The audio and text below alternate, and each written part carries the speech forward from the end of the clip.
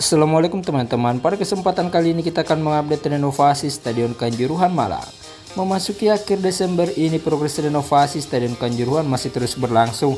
Terlihat dari pantauan channel Krisna proses penataan media tanam sebelum digelar rumput sudah mulai dilakukan dan terlihat untuk lintas atletik juga sudah dilakukan perataan tanah untuk dilakukan pembuatan lintas atletik sesuai dengan standar.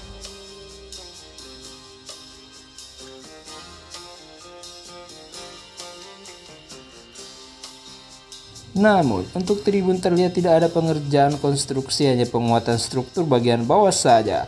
Dan nantinya akan dilakukan perapian dan pemasangan single seat. Selain itu terlihat atap di tribun VIP sudah dibongkar dan nantinya akan dibuat atap baru.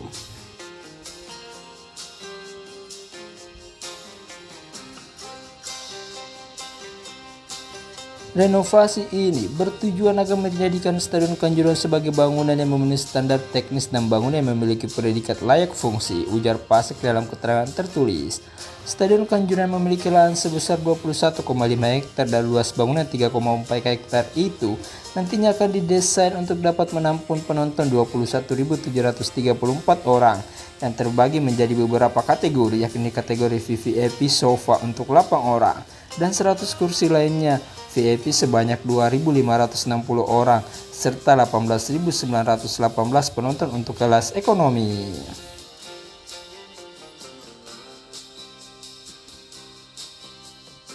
Kami juga menambah tribun tanpa meja untuk media bagi 88 orang dan tribun dengan meja untuk 54 orang, kata dia. Selain itu, pada Stadion Kajuran nanti akan dibangun trek atletik dan gym serta stadion ini juga dapat difungsikan untuk acara non olahraga seperti konser musik dan pertunjukan komersial lainnya.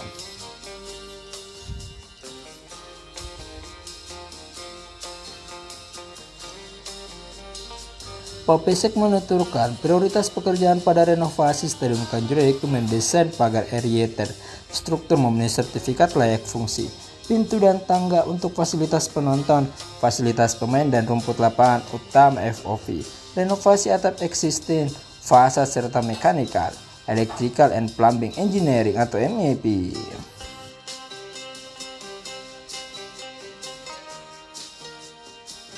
Untuk biaya renovasi Stadion Kanjuruhan ini mencapai 322 miliar rupiah dan nantinya setelah direnovasi akan sesuai dengan standar FIFA.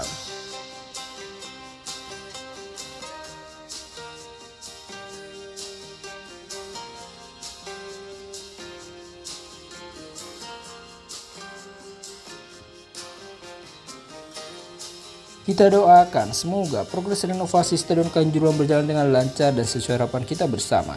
Cukup sekian kali ini pembahasan kami. Jangan lupa like, subscribe, komen, serta share video kami. Terima kasih dan sampai jumpa lagi.